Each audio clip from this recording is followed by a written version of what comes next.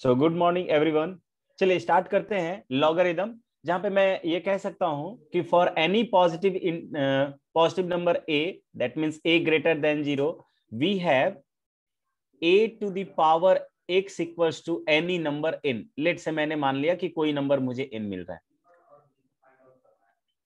Equals to n अब मैं आपको ये जस्टिफाई करने जा रहा हूँ कि मैंने ए को पॉजिटिव क्यों लिया? आपका क्वेश्चन ये अराइज हो सकता है कि why we take A is positive here A को मैंने निगेटिव क्यों नहीं लिया? ठीक है? तो अगर लेट से मैंने एक्स को या ए को निगेटिव नंबर कोई मान लिया लेट से मैंने माइनस वन ही मान लिया गाइज़ मैंने माइनस वन मान लिया ए का वैल्यू निगेटिव मान लिया. और इस एक्स की वैल्यू को मैंने हाफ़ मान लिया. एक्स की वैल्यू को हाफ़ मान लिया तो आपको मिलेगा minus one to the power half minus one to the power half का मीनिंग होगा कि this is the square root of minus one और ये square root of minus one जो होगा, वो इमेजिनरी नंबर हो जाता है गाइस क्या हो जाता है? इमेजिनरी नंबर हो जाता है. And this and that imaginary number is not a real one so हम लोग कैलकुलेशन सिर्फ़ और सिर्फ़ रियल नंबर का पढ़ रहे हैं. एक बार फिर से मैं बोल देता हूँ कि मैंने लिया था कि कोई पॉजिटिव इंटीजर ए के लिए, किसी पॉजिटिव इंटीजर ए के लिए हमें ये एक रिलेशन मिलता है।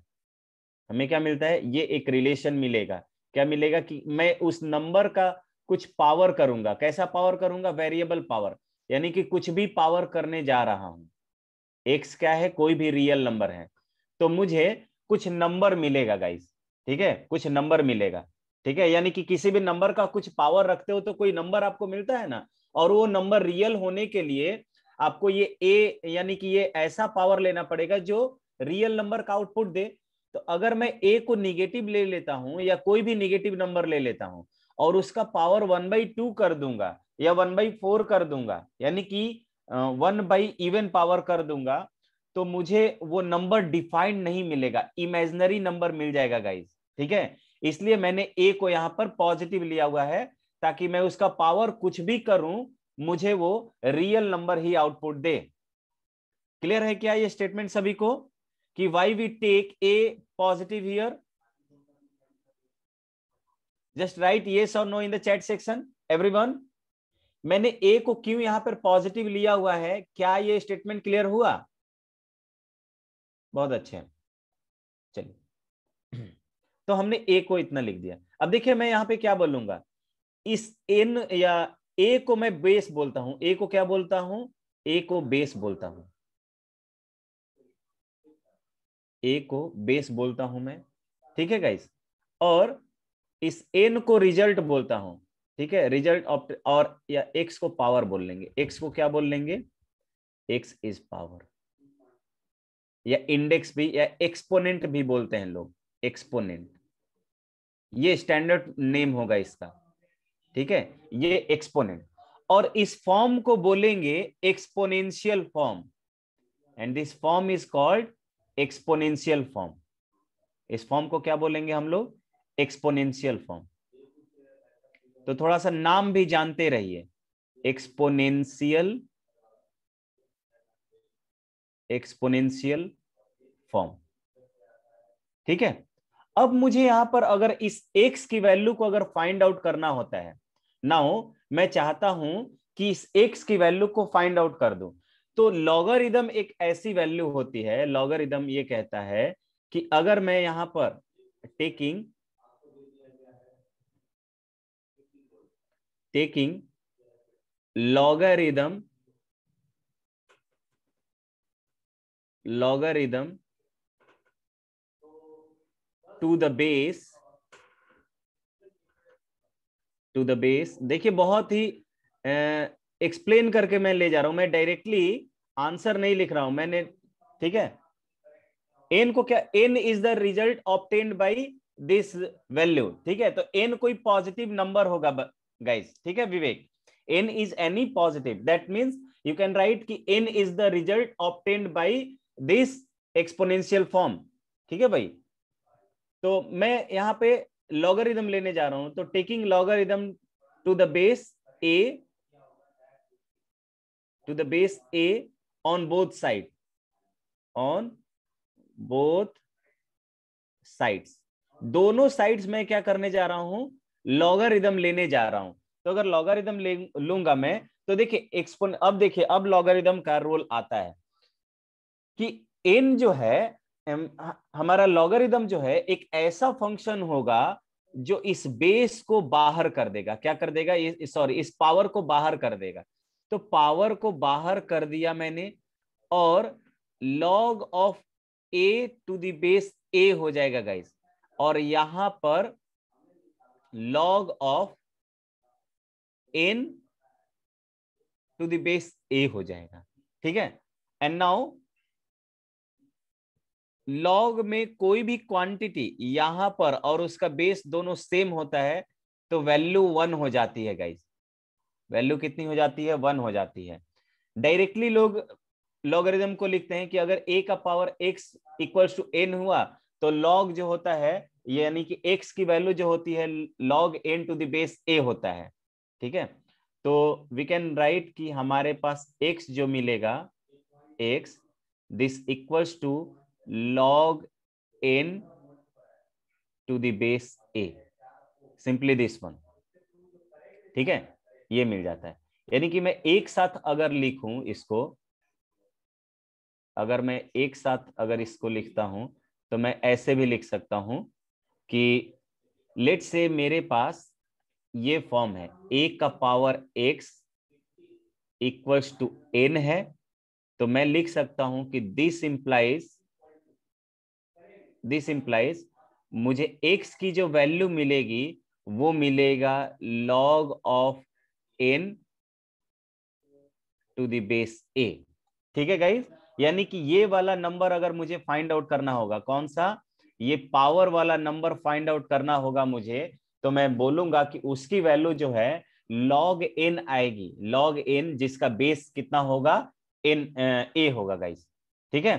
तो ये स्टेटमेंट क्लियर है क्या सभी को? जस्ट राइट ये और नो और इसी को मैं बोलूँगा logarithm function logarithm of n to the base a क्या मैं बोलूँगा कि यहाँ पर एक्स जो मुझे मिलेगा, वो लॉगरिदम ऑफ़ एन मिलेगा, जिसका बेस कितना होगा?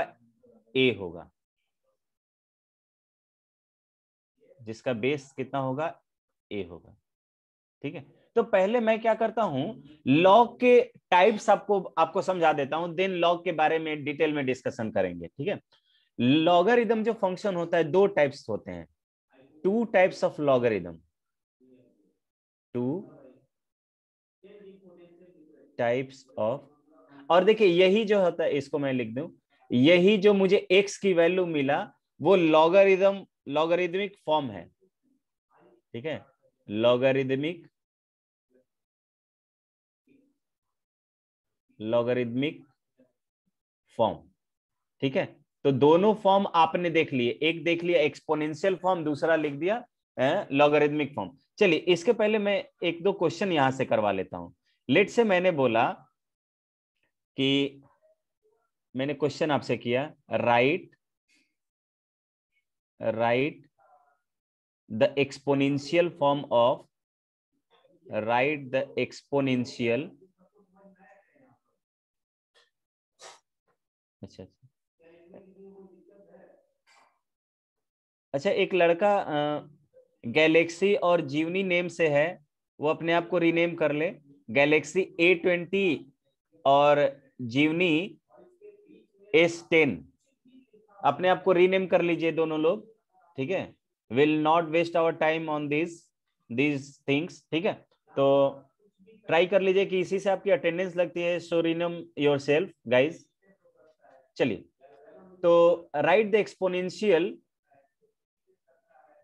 exponential form मैं कुछ यहाँ पे लॉगरिदमिक फॉर्म में कुछ फ़ंक्शंस लिख रहा हूँ या कुछ वैल्यू लिख रहा हूँ। आपको क्या करना है कि उसको लॉगरिदमिक फॉर्म में चेंज करना है गाइस ठीक है? तो चलिए, मैं सबसे पहले लिखता हूँ फ़र्स्ट में। फ़र्स्ट में। Log of log of 81 to the base three इसको कैसे लिखेंगे? दूसरा एक्सपोनेंशियल फॉर्म में लिखिए आप। ठीक है, ये लॉगरिथमिक फॉर्म में हमने लिखा हुआ है। Log of log of 1 by 49 log of 1 by 49 to the base 7 इन दोनों का एक्सपोनेंशियल फॉर्म लिख के दिखाइए तो गाइज़ सभी लोग। Write the exponential form of this देखिए, मैंने ये वाला फॉर्म आपके सामने लिखा हुआ है। You have to obtain this form exponential form value मैंने नहीं पूछा हर्ष हर्ष मैं वैल्यू नहीं पूछना चाह रहा हूँ। मैं आपसे पूछना चाह रहा हूँ कि इसका एक्सपोनेंशियल फॉर्म क्या होगा गाइस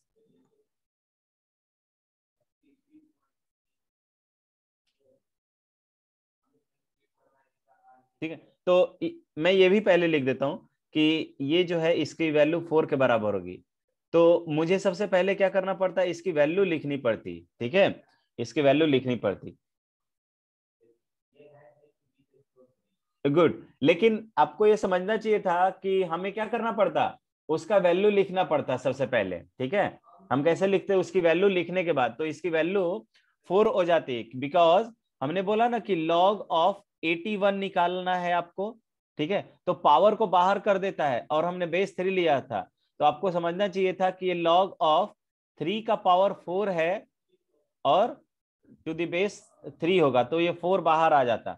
तो मैं इसको ऐसे लिखूँगा। बहुत अच्छे, सभी लोग का आंसर सही आ रहा है बिल्कुल। तो आई कैन राइट कि देखिए 81 की वैल्यू देखो एन के जगह पे कितना है? 81 है।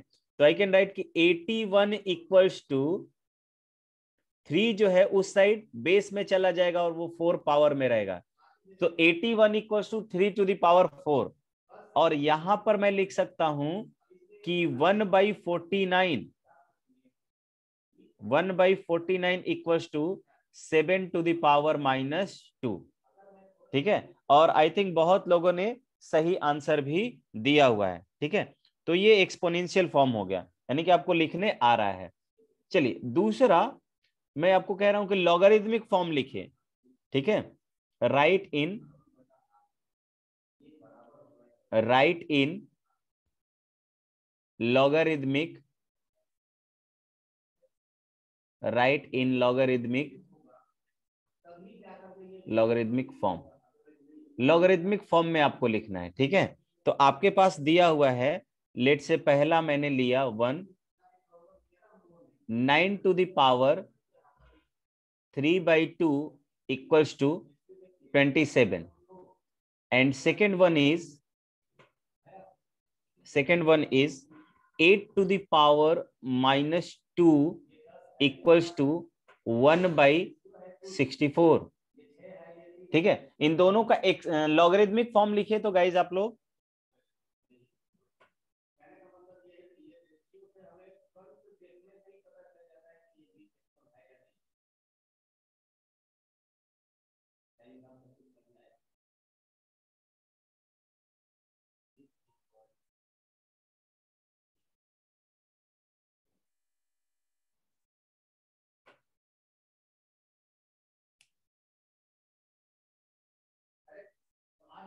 बहुत अच्छे। अमृत का सही आंसर है हर्ष का सही आंसर है।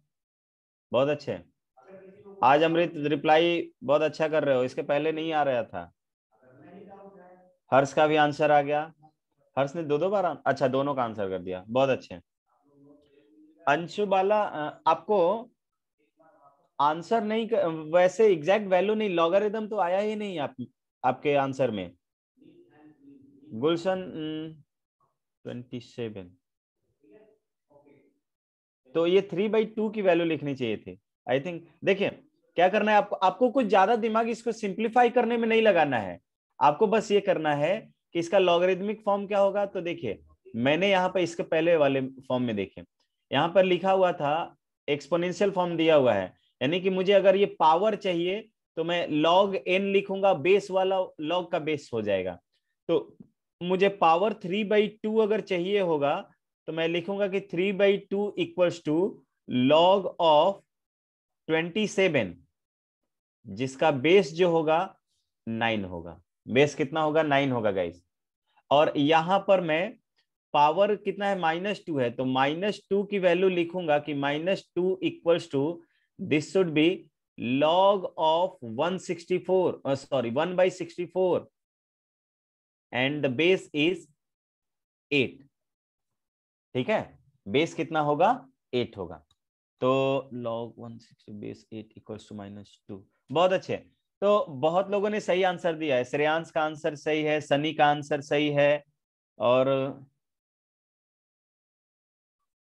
और ऊपर में जितने भी चैट्स चले गए हैं, उन सब के आंसर सही है। हाँ विवेक का शायद डाउट है। हाँ विवेक, बताइए।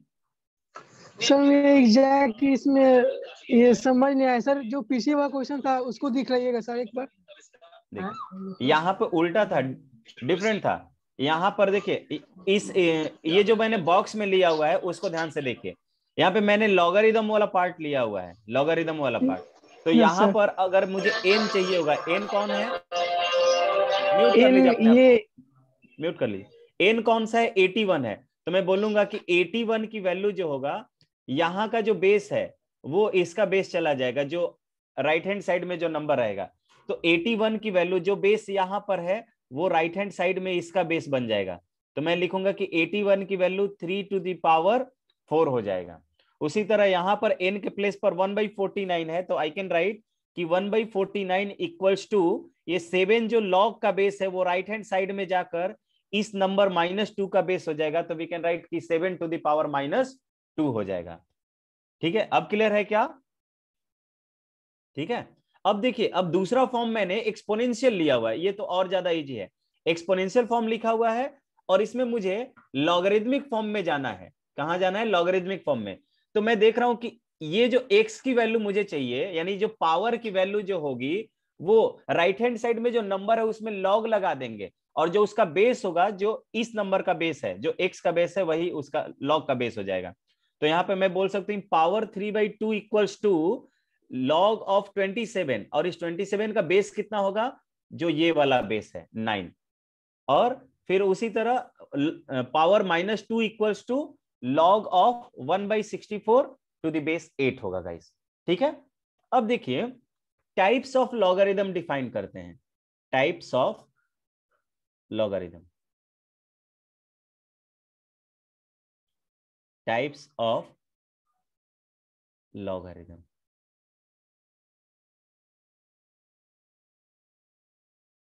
types of logarithm तो टाइप्स ऑफ़ लॉगरिदम दो तरह के होते हैं। लॉगरिदम जो होते हैं, दो टाइप के होते हैं। ठीक है? एक होगा कॉमन लॉगरिदम पहला होगा कॉमन लॉगरिदम कॉमन लॉगरिदम जो अभी तक आप पढ़ते आ रहे थे क्लास टेन तक आपने लॉग का नाम सुना होगा बेसिकली ऐसा नहीं कि है कि आप बिल्कुल जानते नहीं होंगे। तो कॉमन लॉगरिदम जो भी टाइप्स डिफाइन होते हैं गाइस वो बेस से डिफाइन होता है, ठीक है? ये बेस बताता है, यानी कि किसी भी लॉग का बेस देखकर आप बता पाओगे कि that logarithm is common logarithm और दूसरा टाइप होता है नेचुरल लॉगरिदम दूसरे को क्या बोलते हैं हम लोग? नेचुरल लॉगरिदम बोलते हैं। Natural natural natural logarithm natural logarithm ठीक है? तो अगर आपका, आपके लॉग का जो बेस हो लॉग का बेस कितना हो? यहाँ पे बेस कितना होता है? Base of logarithm is base of logarithm, rhythm is 10 ठीक है? मैं सिंपली इस तरह से लिख दे रहा हूँ कि कॉमन लॉगरिदम में क्या होता है? जो बेस होता है लॉगरिदम का, वो टेन होता है। ठीक है गाइस और एक टर्म होता है यहाँ पर इसमें नेचुरल लॉगरिदम में। नेचुरल लॉगरिदम में जो मेरा बेस होगा base of the base of the logarithm base of the logarithm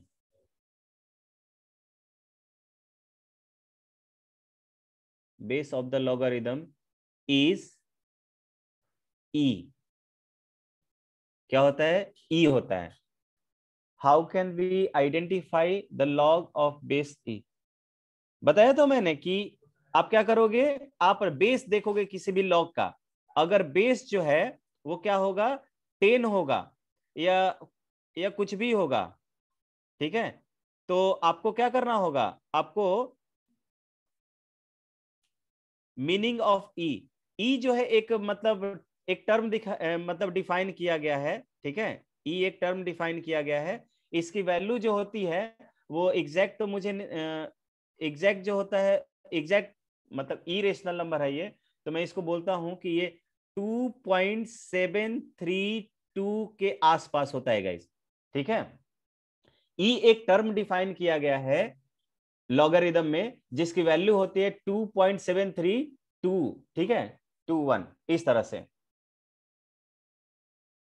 अब देखिए, अब मैं ये बताना चाहता हूँ, ठीक है, कि जितने भी अगर मान लीजिए बेस टेन नहीं हो या लॉग मान लीजिए अगर हमने दिया हुआ है, कि लेट से मैंने बोला कि लॉग ऑफ़ फाइव दिया हुआ है। लॉग ऑफ़ फाइव मैंने जैसे बोला तो आपको समझना होगा कि this should be the base of ten ये बेस टेन में दिया हुआ हो। और उसके अलावा जो भी बेस दिया हुआ रहेगा, वो अपने मेंशन रहेगा। वो सभी कॉमन लॉग की कैटेगरी में आएँगे। ठीक है? हाँ ई e जो है एक्सपोनेंशियल से लिया गया है। ई e जो है एक्सपोनेंशियल से लिया गया हर्षराज। हाँ चलिए किसी ने हैंड्स रेज किया हुआ था। यहाँ तक किसी को डाउट हो तो just raise your hand Gulshan को। चलिए मैं बारी बारी से आपके डाउट्स लूँगा। सो अगर यहाँ तक कोई डाउट हो तो हाँ बोलिए गुलशन। यदि सर लॉग ग्यारह रहेगा तब क्या होगा? तो मैंने बोला तो कि अगर ई e नहीं है यानी कि ई मतलब नाम लिखा रहेगा, ये वैल्यू नहीं दी हुई रहेगी, ध्यान रहे। और इसका दूसरा एक एक्सप्रेशन कैसा होगा, वो भी मैं बता दे रहा हूँ, ये नोटेशन तो अगर लॉग ग्यारह दिया, यानी कि ई के अलावा कुछ भी दिया हुआ दिया हुआ होगा, वो सब कॉमन लॉग की कैटेगरी में आएगा गाइस कॉमन लॉग की कैटेगरी में आएगा। अब लेकिन मैंने तो ये बोल दिया कि सर कॉमन लॉग में बेस तो टेन होता है। तो बेस टेन जब वहाँ पे मिसिंग रहे, जैसे यहाँ पे दे दिया कि लॉग फाइव है ठीक है? तो मैं ऐसे अगर कुछ नहीं दिया हुआ होगा ना तो मैं बोलूँगा कि ये कॉमन लॉग होगा तो मैं खुद से यहाँ पे प्री एज्यूम हो जाऊँगा कि लॉग का बेस जो होगा टेन होगा। लेकिन इसके अलावा कुछ देना होगा तो वो खुद से देगा। ठीक है गुलशन? यस हाँ but this this all are comes under in common common logarithm और किसी को कोई doubt just raise your hand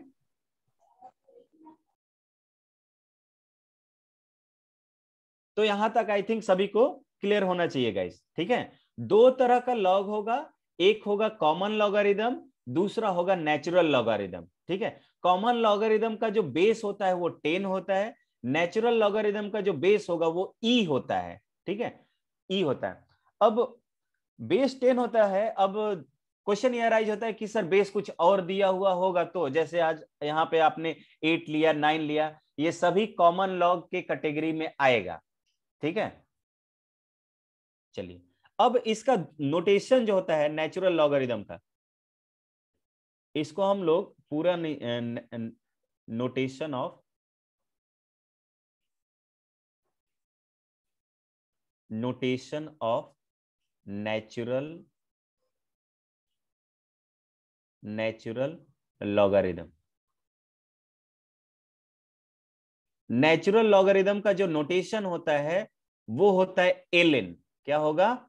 L होगा गाइस एल ठीक है? लेट से कि आपको एग्जांपल में मैं दे रहा हूँ कि लेट से आपको दिखा हुआ लिखा हुआ है कि एल एन फाइव लिखा हुआ है। ये एल एन फाइव का मीनिंग हो गया कि आपको log of five to the base e दिया हुआ है गाइस आया समझ में क्या? नेचुरल लॉगरिदम में बेस क्या होगा? ई e होगा और नेचुरल लॉगरिदम का जो नोटेशन होता है, वो एल एन होता है। इसका मतलब कि कहीं पर आपको लिखा हुआ हो एल एन फाइव ठीक है? L n ten l n seven l n nine उन सब में बेस कितना होगा? ई e होगा। अब चलिए मैं आपसे ये क्वेश्चन अराइज कर रहा हूँ कि एल एन ई इसकी वैल्यू कितनी होगी? What should be the value of l n e anyone बहुत अच्छे। सनी का आंसर आ गया श्रेयांश का आंसर आ गया। और लोग रिप्लाई कीजिए। हर्ष का भी आंसर आ गया। सो so, बहुत अच्छे गाइज़ इसको मैं बोल सकता हूँ कि भाई ये लॉग ऑफ़ ये क्या रहा होगा? ये रहा होगा log of e to the base e log of e to the base e और ये वैल्यू तो हमने देखा कि बेस और ये दोनों सेम हो। तो ये वैल्यू आपको क्या मिल जाती है? ये वैल्यू आपको मिल जानी है कितना? वन मिल जाना है। हाँ वो तो लॉग ई टू देश ई लिखेंगे and the value of this is one इसकी वैल्यू कितनी हो जाएगी? वन हो जाएगी। गुलशन, आपने ये टू पॉइंट नहीं नहीं two point seven three two नहीं होगा, वो तो ई e का वैल्यू था सिंपली उसमें लॉग लगा दिया वैल्यू तो वन हो गया वो। ठीक है? इस फ़ंक्शन को एक्सपोनेंशियल अब एक्सपोनेंशियल फ़ंक्शन को डिफाइन करने के टर्म में आया था। अब क्वेश्चन ये अराइज हो, होता है कि सर हम सिर्फ़ एक एक नंबर यानी ई e के लिए पूरा का पूरा लॉग ही अलग से डिफाइन कर रहे हैं। तो हर नंबर के लिए अलग अलग से लॉग डिफाइन होना चाहिए। बेस तीन पर भी कुछ लॉग का नाम होता बेस पाँच पर भी कुछ लॉग का नाम होता बेस टेन पर चलिए आपने ले लिया है कि कॉमन लॉग में। तो सिर्फ़ एक नंबर के लिए आपने एक पूरा का पूरा लॉगरिदम का सेट ही अलग कर दिया और उसको अपना नेचुरल लॉगरिदम बोल दिया। ऐसा क्यों किया? This question should be ask with your side ठीक है? आपके साइड से ये क्वेश्चन आना चाहिए था ठीक है? जो अपने नाम के रिगार्डिंग जो पूछा था तो अगर ये आप, आप अगर आपको नाम के रिगार्डिंग ही क्वेश्चन पूछना चाहिए था तो ये पूछना चाहिए था कि सर आपने सिर्फ़ ई e के लिए जिसकी वैल्यू लेट से आपने बोला कि 2.732 है उसके लिए आपने पूरा का पूरा एक नेचुरल लॉ का सेट ही डिफाइन कर दिया, एक अलग कैटेगरी ही स्टेब्लिश कर दिया। तो ये कैटेगरी इन सब नंबर्स के लिए ये पार्सियलिटी नहीं हुआ क्या? आपने तीन के साथ अलग सेट क्यों नहीं स्टेब्लिश किया? पाँच के साथ क्यों नहीं किया? ऐसा क्वेश्चन अराइज हो रहा है क्या आपके दिमाग में? मेरा क्वेश्चन समझ रहे हो गाइज़ राइट ये और नो जो लोग मेरा क्वेश्चन समझ पा रहे हैं, वो एक बार कंफर्म कीजिए अपने साइड से राइट ये और नो नहीं। अच्छा बहुत लोग नहीं समझ रहे हैं। देखिए, मैं ये क्वेश्चन कह रहा हूँ, अभी मैंने बोला कि दो तरह के लॉगरिदम होते हैं। एक बेस टेन पर होता है, ठीक है? और दूसरा बेस ई पर होता है। और मैंने बोला कि भाई ई के अलावा कुछ भी बेस होगा, वो कॉमन लॉग में ही चला आएगा। ध्यान रहे, वो कॉमन में ही चला जाएगा। नहीं आएगा। तो e एक अलग नंबर है जिसकी वैल्यू फिक्स वैल्यू है 2.732 ठीक है? सिर्फ़ इस नंबर के लिए, सिर्फ़ इस नंबर के लिए हमने बोला कि जो भी जो भी लॉग जिसका बेस ये e होगा, वो नेचुरल लॉगरिदम होगा, ठीक है? एक अलग नाम लॉगरिदम का दिया। तो टेन के साथ चलिए कि टेन जिसका बेस था, उसको कॉम कॉमन लॉगरिदम एक दूसरा नाम दे रहे हैं। लेकिन यही नाम तीन बेस, अगर बेस तीन हो रहा है, बेस पाँच हो रहा है, बेस दस हो बेस नाइन हो रहा है, बेस इलेवन हो रहा है, इन सब के लिए अलग नाम नहीं ले रहे, इन सबको कॉमन बेस में ही इंक्लूड कर ले रहे हैं हम। तो इसका रीजन मैं ये बता रहा हूँ कि हमारे मैथ्स में जितने भी रिज़ल्ट डिराइव किए गए हैं, या जो भी फ़ंक्शन आगे आगे स्टेब्लिश किया गया है, यानी कि देखेगा कि यहाँ पे देखिए, एक फ़ंक्शन डिफाइन करते हम लोग एक्सपोनेंशियल फ़ंक्शन ध्यान रहे। इसको मैं इरेज करके अलग से लिख ही दे रहा हूँ। देखिए, ऐसा इसलिए होता है कि ये एक्सपोनेंशियल फॉर्म मैंने आपको स्टार्टिंग में लिखवाया है गाइस कि एक्सपोनेंशियल नंबर किसी भी नंबर का पावर हो, जो होता है उसको एक्सपोनेंशियल नंबर बोलते हैं एक्सपोनेंशियल फॉर्म बोलते हैं। उसी तरह होता है एक एक्सपोनेंशियल फ़ंक्शन क्या होता है गाइस एक्सपोनेंशियल फ़ंक्शन होता है, देखिए। एक्सपोनेंशियल फ़ंक्शन इसका भी ग्राफ आज के क्लास में मैं आपको बताऊँगा। Exponential exponential function exponential function exponential function आपका होता है y equals to e to the power x. ये स्टैंडर्ड एक्सपोनेंशियल फॉर्म है. क्या है ये? स्टैंडर्ड फॉर्म है. स्टैंडर्ड स्टैंडर्ड फॉर्म हाँ लॉग की इन भी होती है. ठीक है? आज ये सब कुछ कुछ प्रॉपर्टीज़ हम लोग देख लेंगे। तो देखिए गाइस अभी हमने जो लिखा था कि n equals to a to the power x वो एक्सपोनेंशियल फॉर्म तो ऑब्वियसली होता है। लेकिन अगर मुझसे पूछा जाए कि एक स्टैंडर्ड एक्सपोनेंशियल फ़ंक्शन क्या होता है, अब आप मुझसे ये मत पूछने लगेगा कि सर फ़ंक्शन आपने, ये फ़ंक्शन तो हम लोग पढ़े नहीं है। तो फ़ंक्शन जैसा आप लोग पॉलिनोमियल पढ़ते आ रहे थे ना जस्ट अभी के लिए यही समझो कि फ़ंक्शन एक तरह का पॉलिनोमियल है।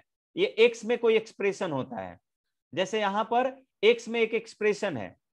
एक्स में क्या है? एक एक्सप्रेशन है तो ये एक एक क्या हो गया? एक्सपोनेंस ये फ़ंक्शन हो जाएगा। तो एक्सपोनेंशियल फ़ंक्शन ई का पावर एक्स पर डिफाइन होता है।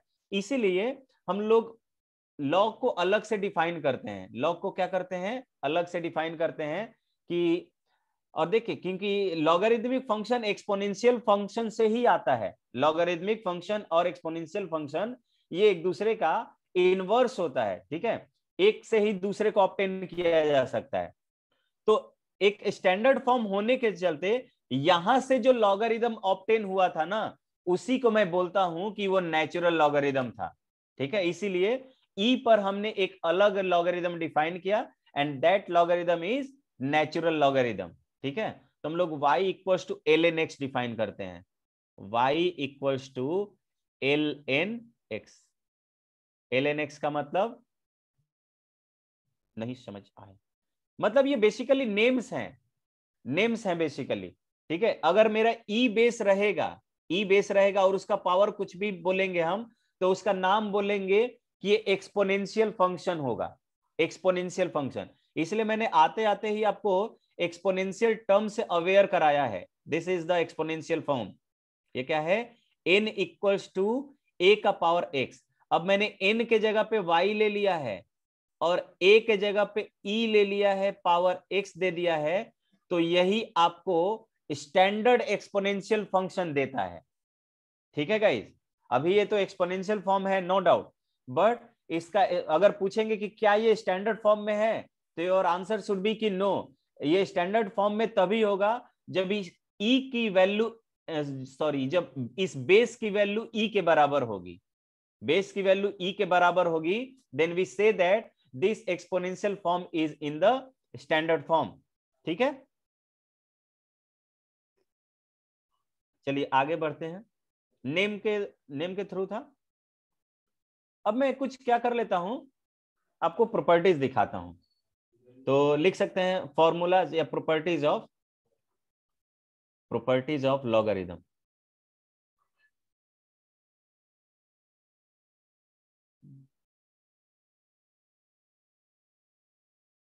properties of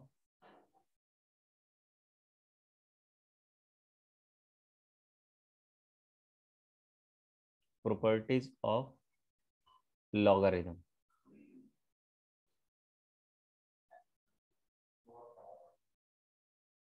Logarithm logarithm की प्रॉपर्टी देख लेते हैं, ठीक है?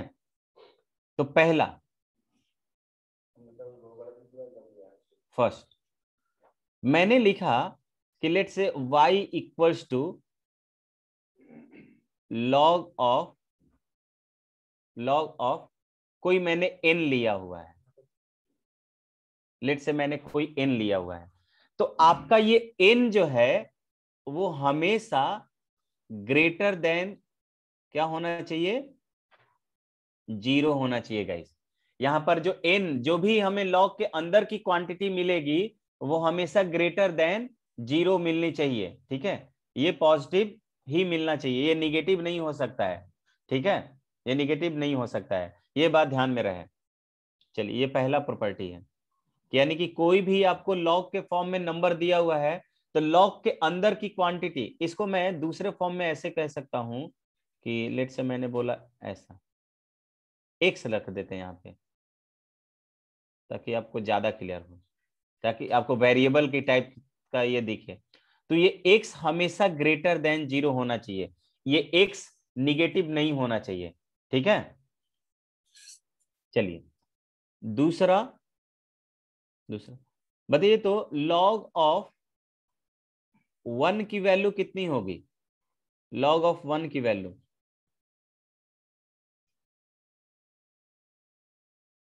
लॉग ऑफ़ वन इसकी वैल्यू कितनी होगी? सभी लोग बताइए तो।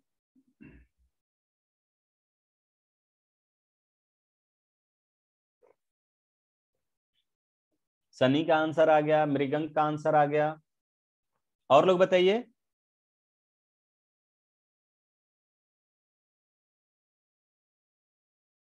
बता रहे हैं, Rishu just wait for minute log one की वैल्यू पहले बताइए। नहीं log one simply log one की वैल्यू जो होगी, वो आपको मिल जाएगी ज़ीरो गाइस लॉग वन की वैल्यू कितनी मिलेगी? ज़ीरो मिलेगी हमेशा। क्वेश्चन अराइज होता है कि ऐसा क्यों सर? तो देखिए, ऐसा इसलिए कि हम जानते हैं कि किसी भी नंबर का पावर जो है, ज़ीरो की वैल्यू वन कितना होता है? किसी भी नंबर का पावर ज़ीरो की वैल्यू मुझे वन मिलता है। वन मिलता है ना? तो मैं दोनों तरफ़ अगर लॉग ऑपरेट करता हूँ तो मैं बोलूँगा zero equals to log of one right hand side का नंबर वन हो गया और ये ए जो हो गया बेस में हो गया। तो अगर मैं यहाँ पर बेस कुछ भी रख दूँ बेस क्या रख दूँ? कुछ भी रख दूँ, मुझे यहाँ पर वैल्यू क्या मिलेगी? हमेशा ज़ीरो ही मिलेगी।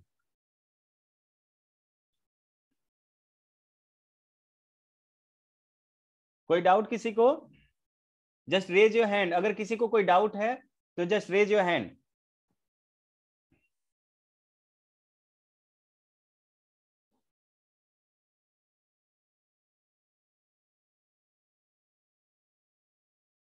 चलिए, कोई डाउट नहीं है भाई। कोई डाउट नहीं है। आगे बढ़ते हैं। ठीक है? मैंने इसका प्रूफ भी दे दिया आपको। मैंने इसका प्रूफ भी दे दिया। ठीक है? अब अगर मुझसे पूछा जाए कि, सर, ई तो बात सही है। आपने बोला कि एक्स की वैल्यू ज़ीरो नहीं होनी चाहिए। ठीक है?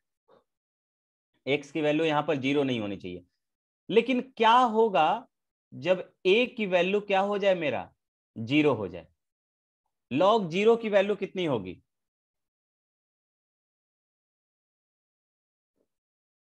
बताइए गाइज़ लॉग ज़ीरो की वैल्यू कितना होगा? बेस कुछ भी रहे, अभी हमने बेस पर कंसंट्रेशन नहीं किया है। बेस पर कंसंट्रेट नहीं किया है सो मुझे क्या मिल जाएगा? ऋषु का आंसर आ गया, विवेक का आंसर आ गया। बहुत अच्छे, शनि और हर्ष का आंसर बिल्कुल सही है। और लोग, श्रेयांश, तुम रिप्लाई नहीं कर रहे हो। मृगंग का आंसर सही है अंशु बाला का आंसर सही है। गुलशन, फिर आप कंफ्यूज कर रहे हो।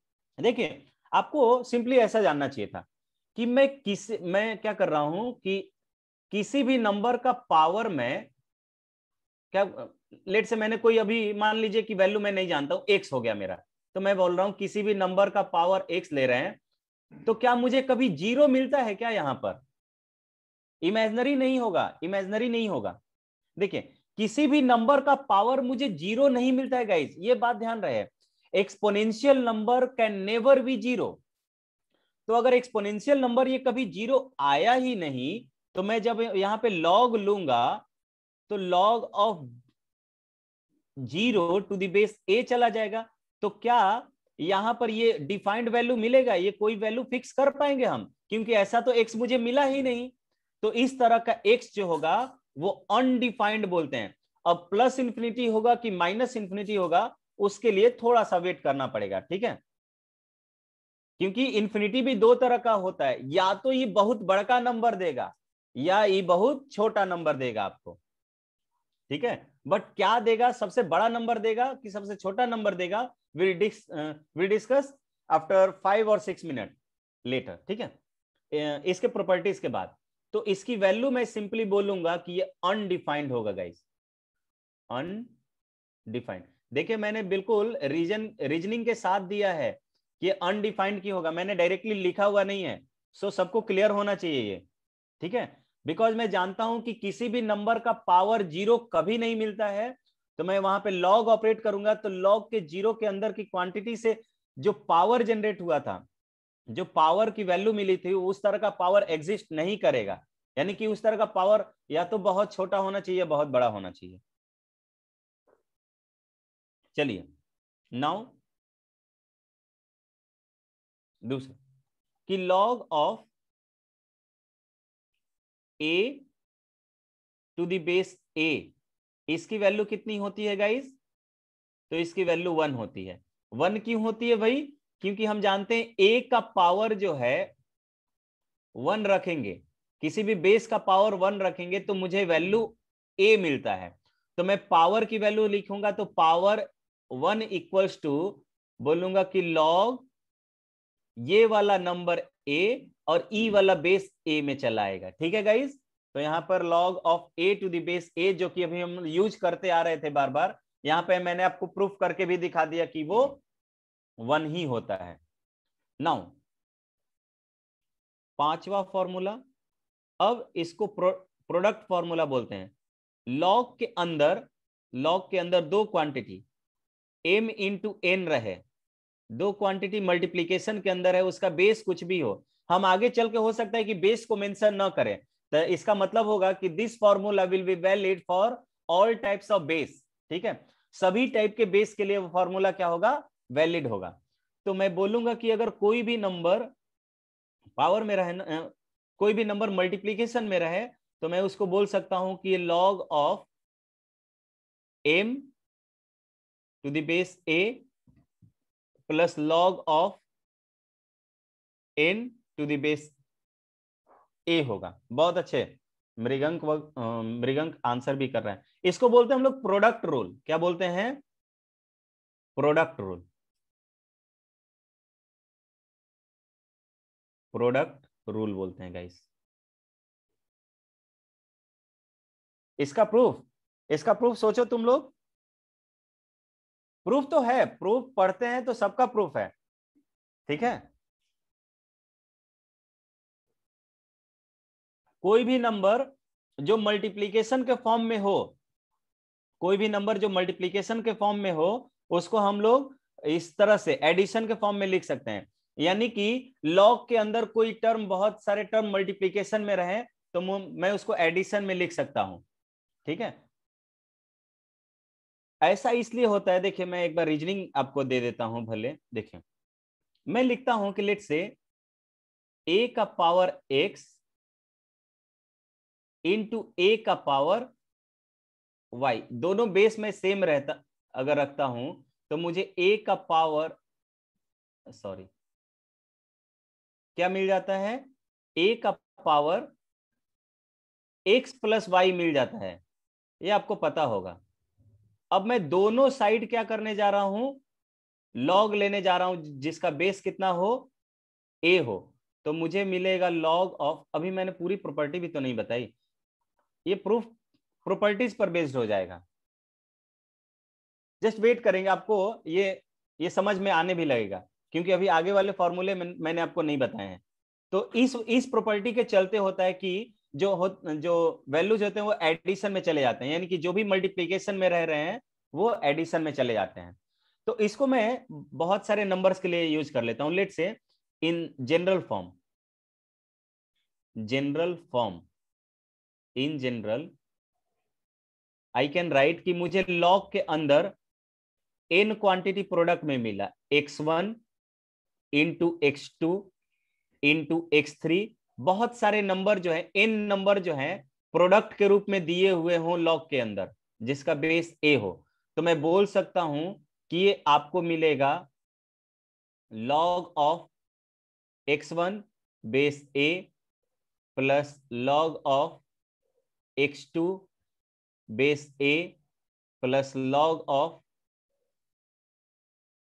x three base a plus क्या मिल जाएगा आपको?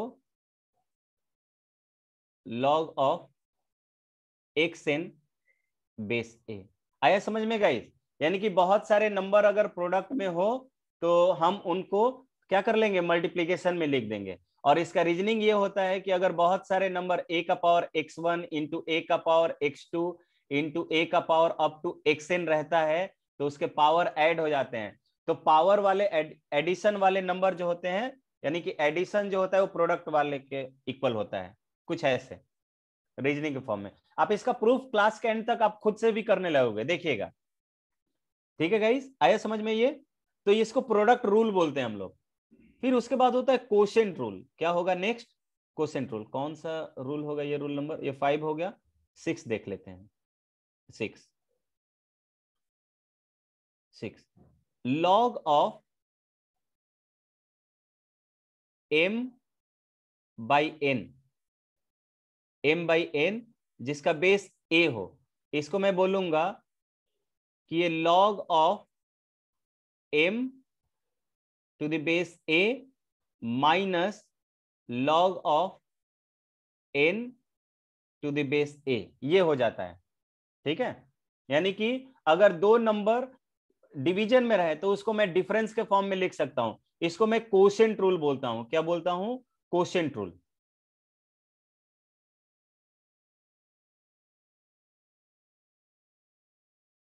कोशेंट रूल ठीक है? नेक्स्ट आते हैं। पावर फॉर्मूला नेक्स्ट को बोलेंगे। Log of m to the power कितना हो इसका? एन हो, और बेस कुछ भी रहे। तो ये पावर जो होता है लॉग से बाहर आ जाता है। तो n log m to the base a होगा। ठीक है गाइस जैसे, चलिए, अब यहाँ के थ्रू मैं आपको कुछ क्वेश्चन दे रहा हूँ। लेट से मैंने बोला इतना ही प्रॉपर्टी पर, या ये क्वेश्चन सॉल्व कीजिए। इसकी वैल्यू बताइए।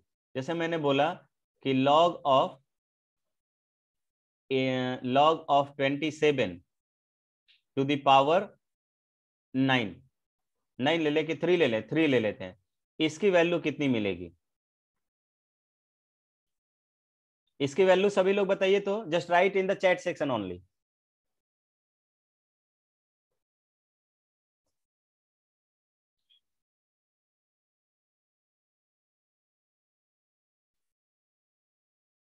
बहुत अच्छे। बहुत अच्छे बहुत अच्छे इसकी वैल्यू थ्री आ रही है। कितनी आ रही है? थ्री आ रही है। अच्छा ये अगर मैं पूछता हूँ, बहुत अच्छे सभी लोग का आंसर लगभग सही है। लॉग ऑफ़ ट्वेंटी सेवन और बेस अगर नाइन हो तो इसकी वैल्यू कितनी होगी?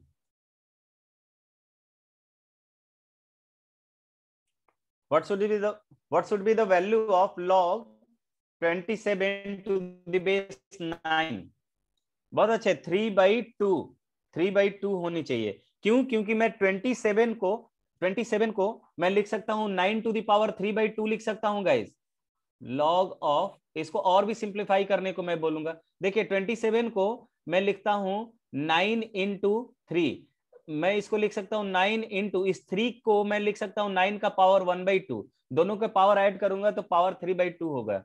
तो नाइन का पावर थ्री बाई टू हो जाएगा टू द बेस नाइन अब ये पावर जो है बाहर चलाएगा पावर पावर जो है बाहर चलाएगा with our this formula power formula तो मैं बोल सकता हूँ यहाँ पर कि जो मुझे वैल्यू मिलेगी, वो मिलेगी थ्री बाई टू और log nine to the base nine की वैल्यू वन हो जाएगी गाइस ठीक है? तो सभी लोगों ने सही आंसर भी दिया हुआ है।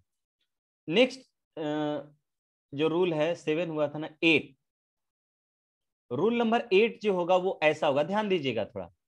अगर मुझे मिलेगा लॉग ऑफ़ एम तो मुझे मिला ही, लेकिन यहाँ पर बेस का नंबर पावर में हो। बेस का पावर ए बेस का पावर यानी ए का पावर के होगा तो मुझे ये मिलेगा one by k one by k one by k log m to the base a मिल जाएगा।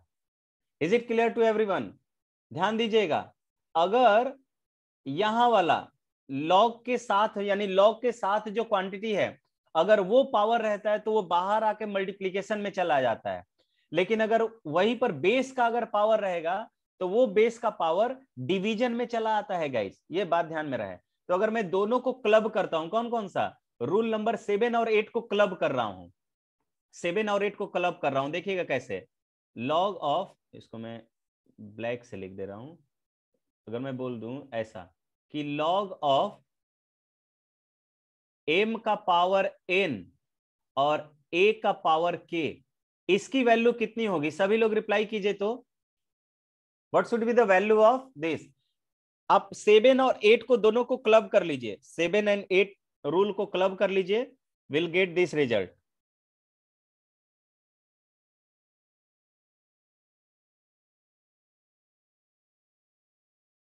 will get this result सभी लोग ट्राई कीजिए।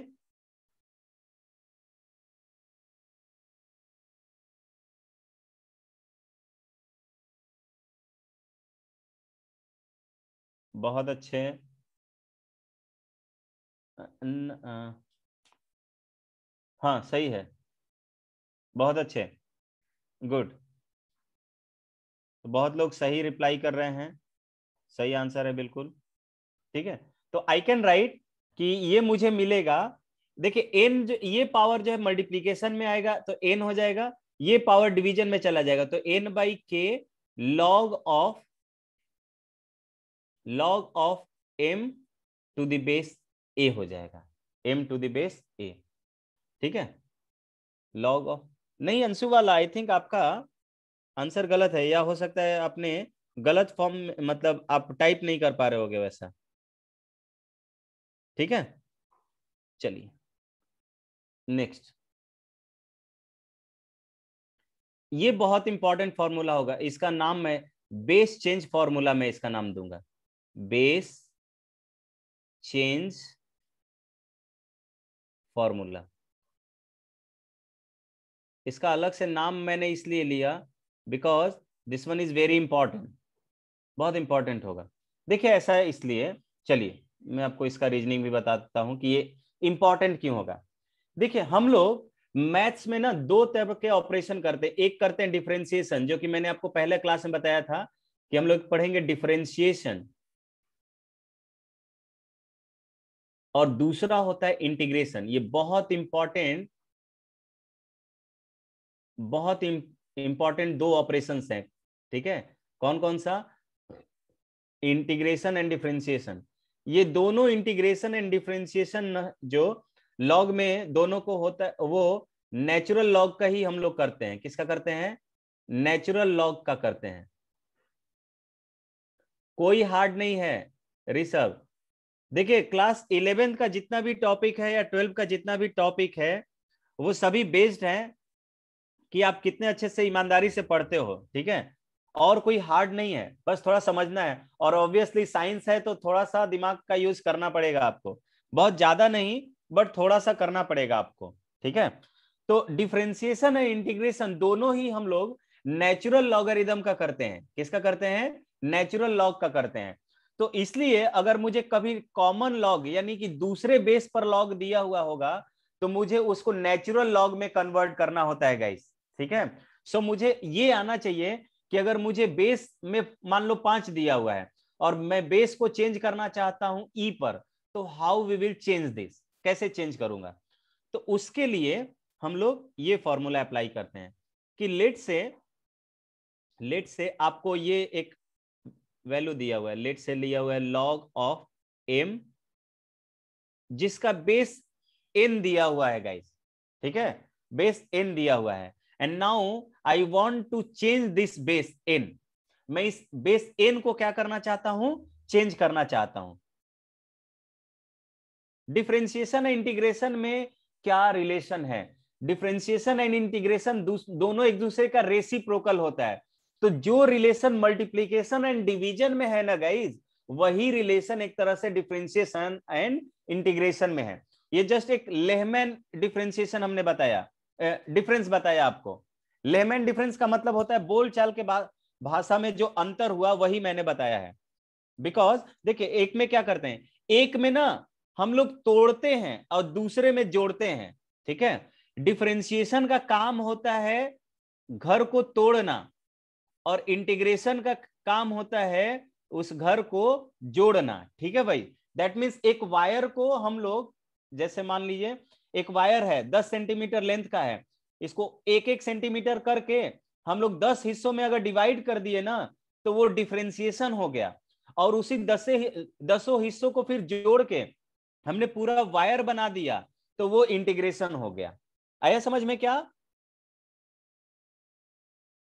मृगंग, समझ में आया? तो हम लोग वही तो काम करते हैं ना।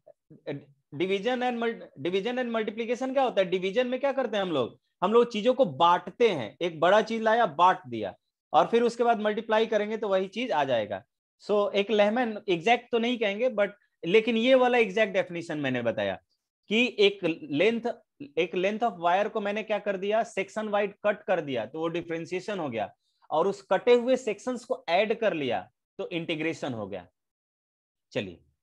तो log of m to the base n है तो मैं इसको लिखता हूँ कि ये log of m divided by log of n बहुत इंपॉर्टेंट रिज़ल्ट देखिएगा। Log of m divided by log of n यहाँ पे बेस वाला जो प्लेस है वो खाली हो गया गाइस जैसे ही मुझे लॉग ऑफ़ लेट से मुझे मिला a by a by b मान लीजिए मुझे मिल गया ए बाई बी तो मैं इसको लिख दूँगा कि ये लॉग ऑफ़ ए हो जाएगा। Divided by log of b हो जाएगा। अब इसका बेस वाला जो प्लेस है ना, खाली हो गया। अब जो भी बेस बेस आप फिल करना चाहते हो, वो बेस आप फिल कर दीजिए। अगर आप चाहते हो बेस ई फिल करना तो बेस ई फिल कर सकते हो। अगर आप चाहते हो बेस टेन फिल करना, बेस टेन फिल कर सकते हो। तो हम चाहते हैं कि बेस ई फिल कर दे यहाँ पर तो वी कैन राइट कि यहाँ पर ई e यहाँ पर भी हो जाएगा तो ई यहाँ पर भी लेना पड़ेगा। आपको ऐसा नहीं कि एक में ई e ले लिया और एक में टेन ले लिया, कुछ और ले लिया। ऐसा नहीं कर सकते हैं। जितना बेस आप ऊपर लेगे, उतना ही बेस नीचे लोगे। अब देखिए, मैं इसको थोड़ा सा अलग तरीके से लिखता हूँ। अब मैं बोलूँगा कि ये वाला जब फिर ऊपर जाएगा ऊपर जाएगा ना तो इसका ऑर्डर रिवर्स कर जाएगा। It mean that I can write कि ये log e to the base n हो जाएगा into log of log of m to the base e हो जाएगा। ये फॉर्मूला कितने लोगों को समझ में आया गाइस जस्ट राइट ये और no in the chat section everyone सभी लोग एक बार ये और नो लिख दीजिए सभी लोग।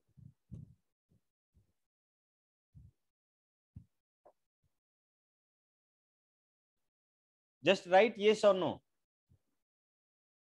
no sir no sir no sir ये एक फॉर्मूला है, ठीक है? आपको समझना नहीं है, देखिए, फिर से मैं एक बार कर दे रहा हूँ। लेट से मुझे मिला, क्या मिला भाई? ये लोग डायरेक्टली फॉर्मूला लिख देते हैं, लेकिन मैं फॉर्मूला कैसे आ रहा हूँ, कैसे आ रहा है वो भी बताना चाह रहा हूँ आपको। लॉग ऑफ़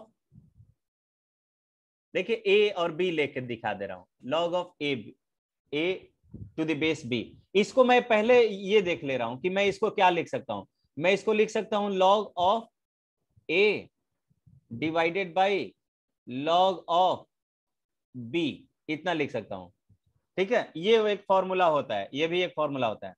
और इस फॉर्मूले में यहाँ पर बेस वाला जो पार्ट है वो खाली हो जाता है वैकेंट हो जाता है गाइस जस्ट वेट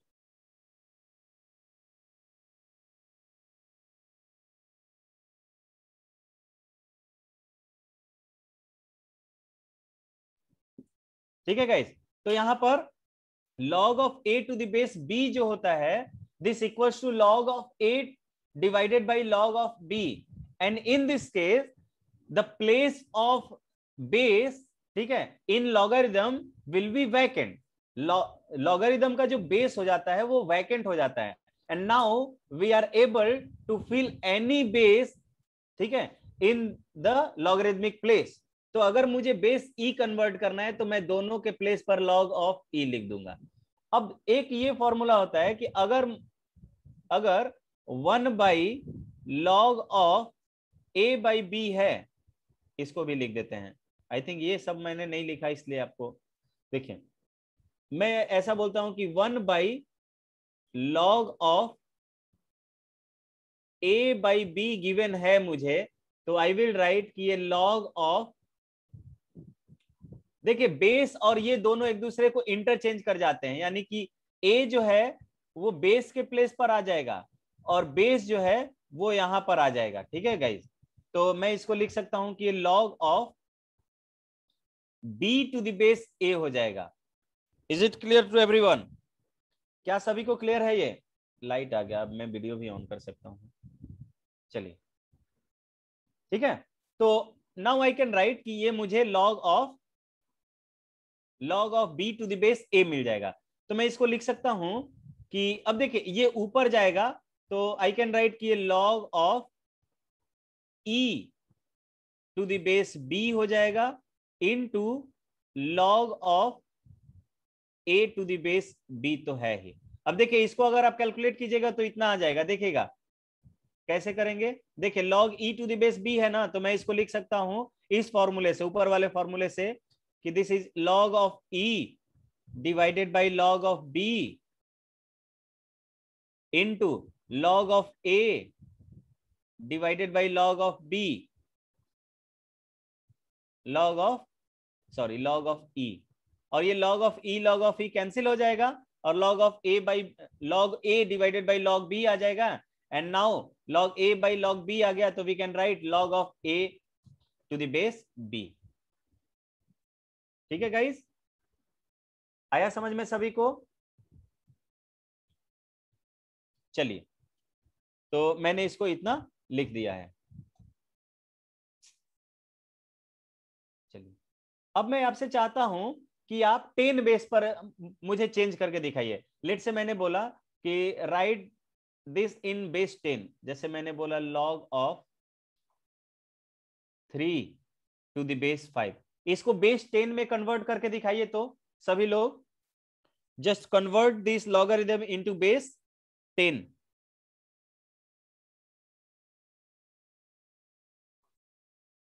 इसको बेस टेन में कन्वर्ट करके दिखाइए सभी लोग।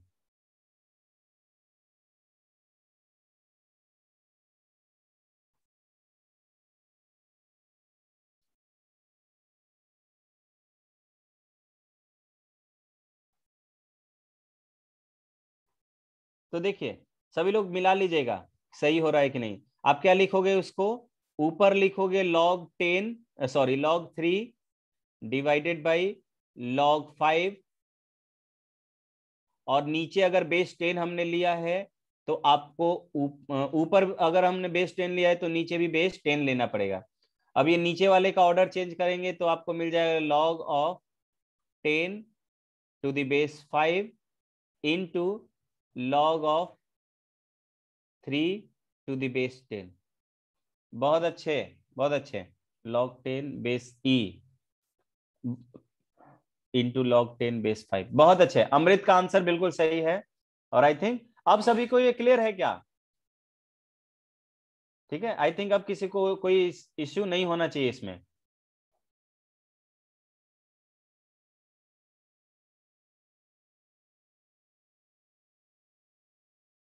चलिए, आगे बढ़ते हैं गाइस एक और इंपॉर्टेंट फॉर्मूला और ये one of the most important formula ये भी है। मैथ्स वाले के लिए भी और बायो स्टूडेंट दोनों के लिए। मैथ्स मैथ्स वालों के लिए ज़्यादा इंपॉर्टेंट है, क्योंकि मैथ्स का एक चैप्टर ही आएगा जिसमें ये फॉर्मूला हर बार यूज़ होगा, हर बार। वो ये फॉर्मूला है कि अगर मैं लिखता हूँ कि ये फॉर्मूला नंबर कौन सा होगा? ये नाइन था ना आई थिंक हाँ टेन नंबर कि मैंने मान लीजिए ए एक नंबर लिखा और उसके बेस में मैंने उसके पावर में मैंने लिखा कि लॉग ऑफ़ एक्स है, जिसका बेस भी ए है, ठीक है? तो इसकी वैल्यू जो है वो मुझे एक्स के बराबर मिलेगी गाइस बहुत मृगंग को आई थिंक याद भी था ये। बहुत अच्छे अगर वही मैं ये लिख लेता हूँ कि ये ए का पावर इसका दूसरा फॉर्मेट भी मैं बोल सकता हूँ कि अगर ऐसा लिखा हुआ हो कि a log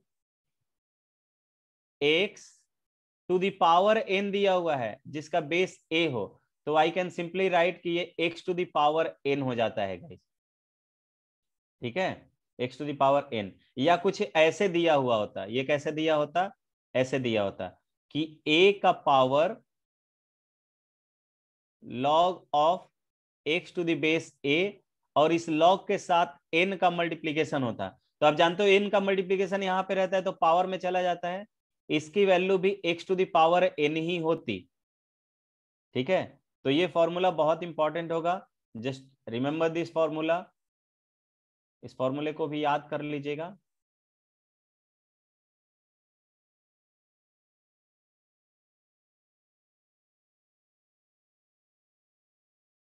ठीक है? इसको भी याद कर लीजिएगा। ये दोनों इंपॉर्टेंट फॉर्म फॉर्मूले हैं। फॉर्मूले इसमें सब इंपॉर्टेंट है वैसे, लेकिन कुछ कुछ जो है वो बहुत इंपॉर्टेंट है। एक ये हुआ, एक ये यहाँ पे बेस चेंज फॉर्मूला वाला हुआ बेस चेंज का ये वाला फॉर्मेट में ये कर दे रहा हूँ। तो यहाँ पे मैंने लिखा था इसको, कितना लिखा था? कि ये लॉग ऑफ़ सॉरी एक मुझे मिला था कि log of a by b a to the base b को मैंने इतना लिखा था। तो मैं अब इसको लिख सकता हूँ इसको ब्लैक से कर दे रहा हूँ।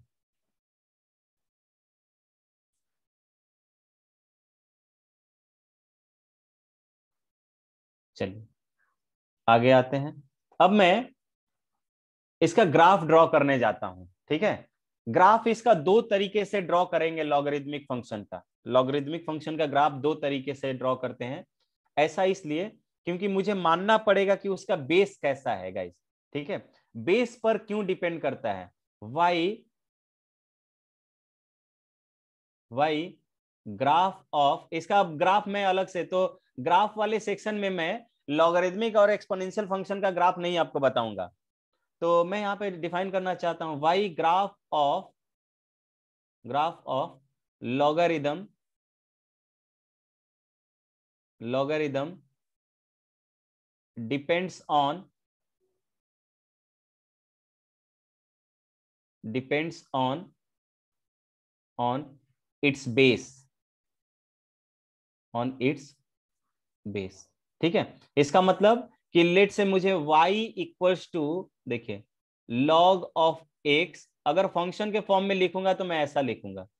जिसका बेस कितना है गाइज़ a है। तो मुझे इसकी वैल्यू जो है इसकी वैल्यू जो है वो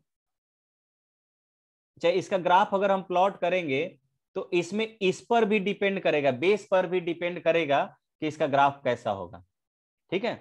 तो देखिए, ऐसा इसलिए होगा बिकॉज़ थोड़े देर एक बात और मैं, यहाँ पे मैं बोल सकता हूँ कि मेरा ए का वैल्यू यानी कि बेस ऑफ़ लॉगरिदम जो होगा, वो कभी भी वन के बराबर नहीं हो सकता है guys base of the logarithm can never be zero क्या ये स्टेटमेंट सभी को क्लियर है कि ये बेस जो है वो ए के बराबर नहीं होना चाहिए? अब हम इस पोजीशन पे हैं कि इस बात को कह सकते हैं। एवरीवन किसी को इसमें कोई डाउट है क्या कि base of the logarithm can never be one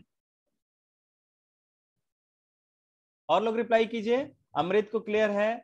I uh, think अब कौन कौन लोग हैं? अनन्या रिशु देखिए भाई, क्यों? क्योंकि log of x to the base x divided इसको मैं लिख सकता था log of x divided by log of a और अगर ए की वैल्यू वन लेता तो लॉग वन किसी भी वैल्यू पर ज़ीरो हो जाता है।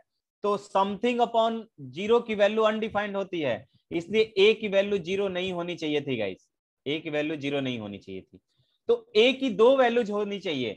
या तो ए जो है, वो ग्रेटर देन ज़ीरो होगा यानी greater than zero and less than one होगा और दूसरा वन से ज़्यादा होगा। तो देखिए, मैं क्या करता हूँ, एक बार ए की वैल्यू जो है, वो वन बाई टू लेता हूँ और दूसरे में ए की वैल्यू लेट से एक से ज़्यादा, यानी कि टू ले लेता हूँ।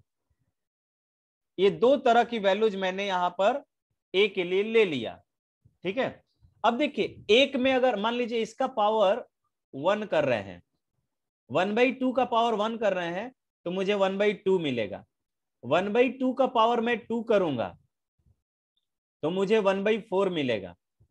वन बाई टू का पावर तीन करूँगा तो मुझे थ्री मिलेगा। सॉरी वन बाई एट मिलेगा। ठीक है? लेकिन दूसरे एंड पर मैं देख रहा हूँ कि ए का पावर मैंने वन किया, यानी टू का पावर मैंने वन किया तो मुझे टू मिला। टू का पावर टू करेंगे तो फोर मिलेगा। टू का पावर थ्री कर रहे हैं तो एट मिला। आप ये ऑर्डर ऑब्ज़र्व कर पा रहे हो क्या? कि अगर मेरा बेस जो है ज़ीरो से एक के बीच में है, यानी कि फ्रैक्शन में है, और मैं उसका पावर रेज करते जाता हूँ तो मुझे जो वैल्यू मिलती है, वो घटते हुए मिलती है, ठीक है? और ये घटते घटते एक बार माइनस इंफिनिटी को चला जाएगा क्या गाइज़ एक बार इसी तरह अगर पावर बढ़ाते जाएँगे तो वैल्यू देखिए, पहले आधा है फिर एक बट्टा चार हुआ, फिर एक बट्टा आठ हुआ। यानी कि हर बार वैल्यू आधा आधा डिक्रीज करते जा रही है। यानी एक समय ऐसा आएगा कि ये घटते घटते घटते घटते घटते निगेटिव तो कभी नहीं जाएगा। ये घटते घटते कहाँ चला जाएगा? Tending to zero exactly zero नहीं होगा, लेकिन ज़ीरो के बराबर लगभग होता हुआ दिखेगा हमको। ठीक है? निगेटिव में नहीं होगा, क्योंकि पावर वाला नंबर कभी निगेटिव नहीं होता है। और इस केस में ये वाला नंबर यानी कि पावर अगर हम बढ़ाते जाएँगे यानी एक्स की वैल्यू बढ़ाते जाएँगे तो ये वैल्यू बढ़ते बढ़ते इंफिनिटी को चला जाएगा। तो ये बात क्लियर हो रही है क्या सभी को? Is it clear to everyone और लोग, सनी का आंसर आ गया। और लोग रिप्लाई कीजिए। हाँ तो ये सही है। अब देखिए मैंने अभी आपको ये कहना चाहिए था कि, सर, ये तो लॉगरिदम आपने एक्सपोनेंशियल क्यों लिया? एक्सपोनेंशियल नंबर पे समझा रहे हैं। तो गाइज़ आपको समझना पड़ेगा कि जो लॉगरिदमिक फ़ंक्शन होता है they comes through exponential function exponential function था तभी तो वहाँ से लॉगरिदमिक फॉर्म हमने लिखा था। एक्सपोनेंशियल फॉर्म को सॉल्व करने के लिए ही लॉगरिदमिक फॉर्म आया था बेसिकली यहाँ पे देखिए एक्सपोनेंशियल फॉर्म था इसको कन्वर्ट किया हमने तो एक्सपोनेंशियल फॉर्म को ही एक्सपोनेंशियल फॉर्म को ही, यानी कि इसी एक्स को फाइंड आउट करने के लिए तो लॉगरिदम आया था मेरे पास। तो एक्सपोनेंशियल फॉर्म को सॉल्व करने के लिए ही लॉगरिदमिक फ़ंक्शन आता है। तो जो प्रॉपर्टी ये एक्सपोनेंशियल फ़ंक्शन कंटेन कर रहा है, वही प्रॉपर्टी लॉगरिदमिक फ़ंक्शन भी कंटेन करना चाहिए। ठीक है? तो अब मैं ये कह सकता हूँ कि इसका ग्राफ दो तरीके से होता है। देखिए मैं इसका बेस इसका बैकग्राउंड चेंज कर दे रहा हूँ because we have to draw the graph of this तो देखिए, पहले मैं बोलूँगा कि let say y equals to log of x to base a है। लेकिन मेरा a जो है गाइज़ वो ग्रेटर देन वन है। यानी कि ये इंक्रीजिंग फ़ंक्शन होगा, ध्यान दीजिए। इंक्रीजिंग का फ़ंक्शन का मतलब कि x की वैल्यू बढ़ाएँगे तो हम लिख देते हैं, with increase in x, with increase in x, यहाँ पर क्या होगा? इंक्रीज करेंगे x का value, with increase in in value of of x, y increases guys y increases अगर मैं x की वैल्यू को इंक्रीज करता हूँ तो मेरा y जो है, वो इंक्रीज कर जाएगा। और इस तरह के फ़ंक्शन को मैं बोलता हूँ कि इंक्रीजिंग फ़ंक्शन है। चलिए, ये सब आप बाद में पढ़ोगे, लेकिन ये टर्म आप जान जाइए। मैथ्स वाले तो बाद में पढ़ेंगे, लेकिन फिजिक्स फिजिक्स वाले लड़के या बायो के लड़के भी इतने जानने चाहिए। इंक्रीजिंग फ़ंक्शन डिक्रीजिंग फ़ंक्शन आपको एक तरह से मिलेगा। तो ये इंक्रीजिंग फ़ंक्शन हो जाएगा गाइस इसका मतलब कि x की वैल्यू को मैं बढ़ाऊँगा तो y की वैल्यू बढ़नी चाहिए। अब ध्यान रहे, आपको ये स्ट्रेट लाइन तो कभी नहीं मिलने वाला है, क्योंकि लॉगरिदमिक फ़ंक्शन सिर्फ़ अगर लीनियर फ़ंक्शन को छोड़ दिया जाए तो बाकी जितने भी फ़ंक्शन है, उन सब का ग्राफ जो है, वो कर्व टाइप का बनता है।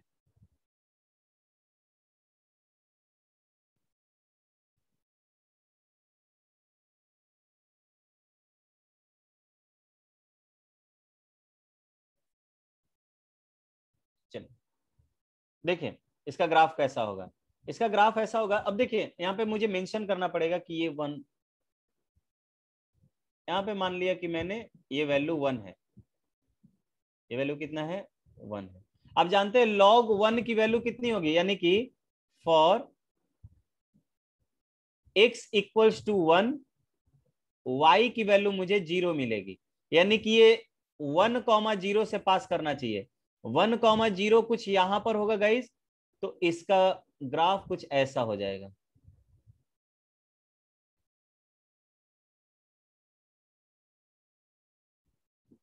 ऐसा हो जाएगा गाइस ठीक है? ये इनके, यानी कि देखिए, यहाँ पर x की वैल्यू x की वैल्यू कैसे पता चलेगा कि बढ़ रहा है? x की वैल्यू मैं इधर जा रहा हूँ। x की वैल्यू को अच्छा मैंने उल्टा बना दिया सॉरी उल्टा बना दिया मैंने। ऐसे हो जाएगा, ये डिक्रीजिंग वाला था। अच्छा चलिए, कितना मेहनत से तो इसको मैं लिख दे रहा हूँ और यहाँ पे ए को मैं लेस देन ज़ीरो कर दे रहा हूँ। ए को क्या कर दे रहा हूँ? लेस देन ज़ीरो क्योंकि इतना मेहनत से बना था। ए जो है यहाँ पर लेस देन वन है, लेकिन ज़ीरो से बड़ा है। ज़ीरो से लेस देन बोल दिया क्या मैंने? ज़ीरो से लेस देन तो नहीं होगा। ज़ीरो से वन के बीच में होगा और ये डिक्रीजिंग हो जाएगा function with increase in values of x y decreases बोल देता हूँ।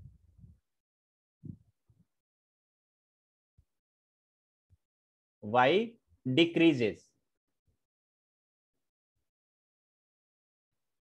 और ये डिक्रीज करेगा तो इसको हम लोग डिक्रीजिंग फ़ंक्शन बोलेंगे गाइज़ डिक्रीजिंग यानी एक्स की वैल्यू को अगर हम इंक्रीज करा रहे हैं और हमारा वाई डिक्रीज कर रहा है तो हम उसको बोलेंगे कि ये डिक्रीजिंग फ़ंक्शन है। और डिक्रीजिंग फ़ंक्शन में देखिए क्या होता है एक्स की वैल्यू में मैंने क्या किया है, बढ़ाया है तो वाई की वैल्यू कैसे पता चलेगा कि घट रहा है? तो देखिए वाई का वैल्यू कौन बताता है? ये ग्राफ ये वाला हाइट बताता है। यहाँ से यहाँ का जो हाइट है ना, वो क्या बताता है? वाई का वैल्यू बताता है। तुमने देखिए एक्स का वैल्यू बढ़ा रहे हैं, इधर आ रहा है तो वाई जो है, घटते घटते घटते घटते कहाँ चला गया? माइनस इंफिनिटी को चला गया। ये ग्राफ सभी को क्लियर हो रही है क्या?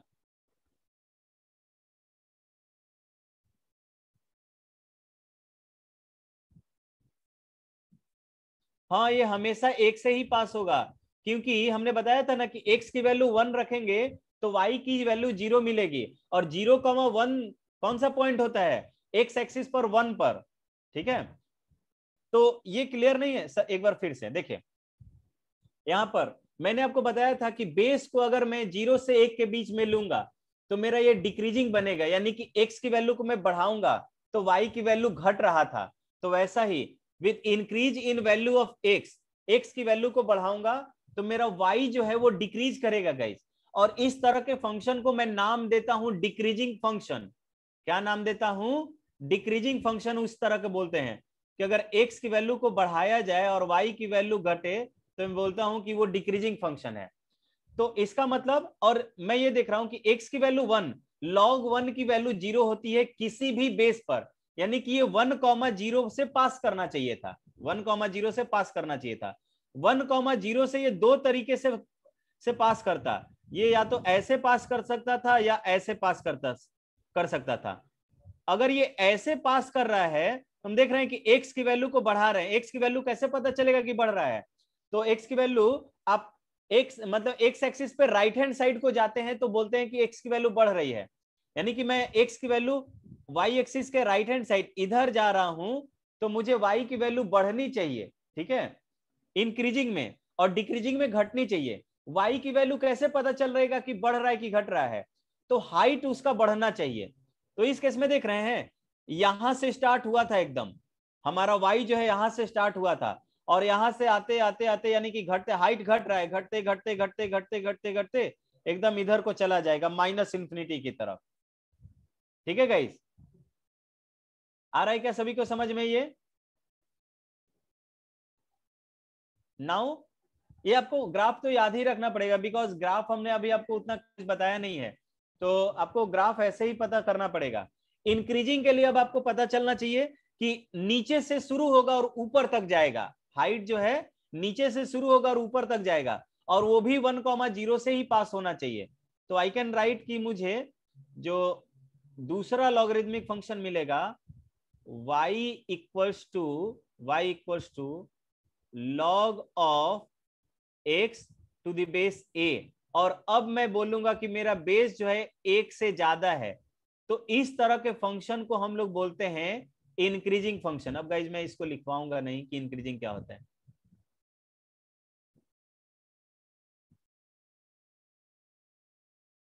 इंक्रीजिंग फ़ंक्शन इंक्रीजिंग फ़ंक्शन अब अगर ये इंक्रीजिंग फ़ंक्शन है, और अगेन मैं देख रहा हूँ कि for x equals to for x equals to one for any base a y की वैल्यू तो मुझे ज़ीरो ही मिलनी है गाइस वाई की वैल्यू मुझे क्या मिलनी है? ज़ीरो मिलनी है. इसका मतलब it curve the curve passes through या द ग्राफ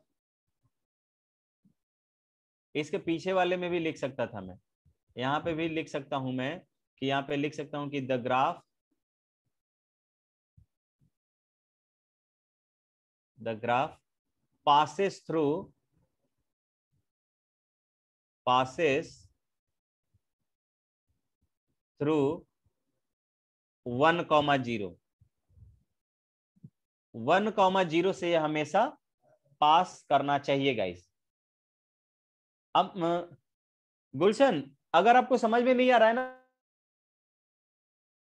कर लीजिए कि कोई भी ग्राफ जो वन कॉमा ज़ीरो से पास हो रही होगी, और इस तरह होगा, ऊपर से नीचे की ओर जाएगा तो वो लॉगरिथमिक फ़ंक्शन का ग्राफ होगा और जिसमें ज़ीरो से एक के बीच उसका बेस रहा होगा।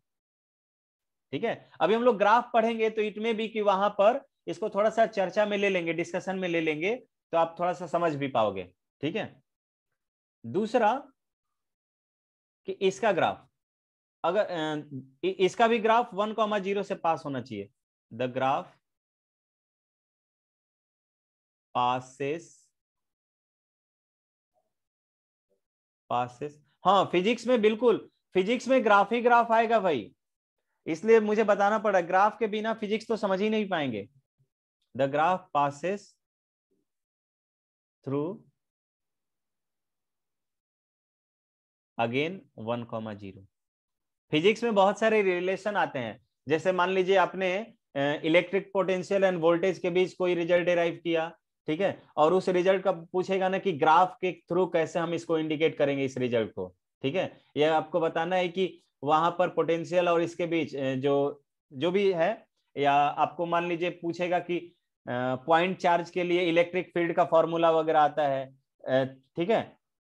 पॉइंट चार्ज के लिए इलेक्ट्रिक फ़ील्ड का फॉर्मूला जो आता है, उसमें पॉइंट चार्ज के बीच का जो डिस्टेंस होता है, उसका, उसके बीच और इलेक्ट्रिक करंट जो, या चार्ज के बीच जो इलेक्ट्रिक फ़ील्ड प्रोड्यूस हो रहा है, यानी कि electric field E versus distance r के बीच ई एंड आर के बीच ग्राफ बनाइए।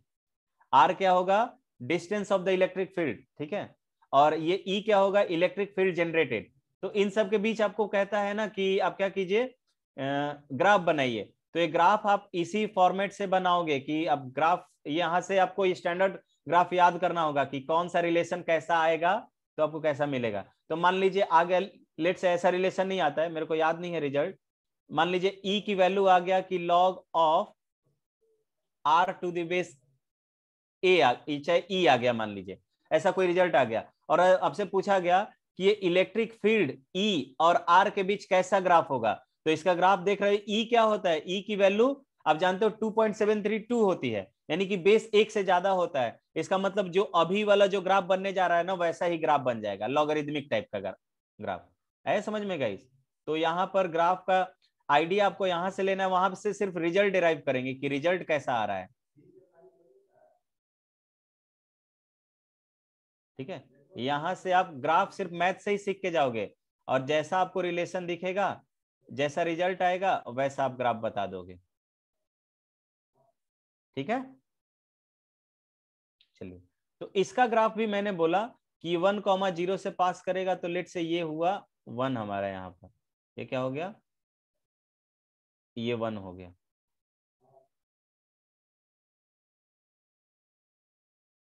वन हो गया।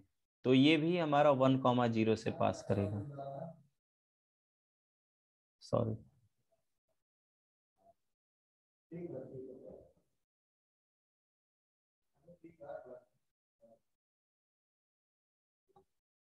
नहीं।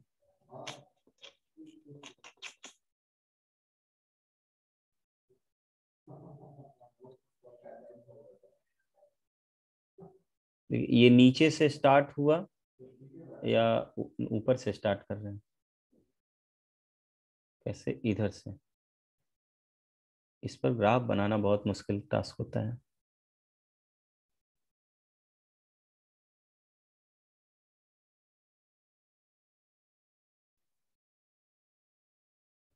ये ऐसे ऐसे करते करते कभी ज़ीरो नहीं होगा, इस तरह का ग्राफ चला जाएगा।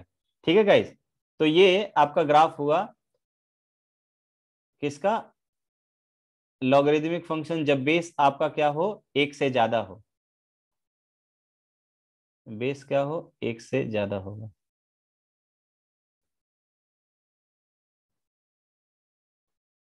सभी को समझ में आया क्या?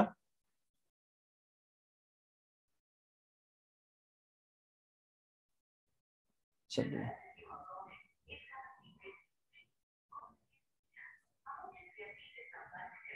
चलिए तो देख रहे हैं, यहाँ पर x की वैल्यू को बढ़ा रहे हो आप तो y की वैल्यू बढ़ रही है। यानी कि इसका जो ग्राफ अगर आपसे पूछ दिया जाए, ये फॉर्मूला एग्जैक्ट होता नहीं है। मैं ये ऐसा क्लेम नहीं कर रहा हूँ कि मुझे ये रिज़ल्ट याद नहीं पड़ रहा है तो आपको समझना पड़ेगा कि ये ग्राफ ऐसा होगा गाइज़ ठीक है?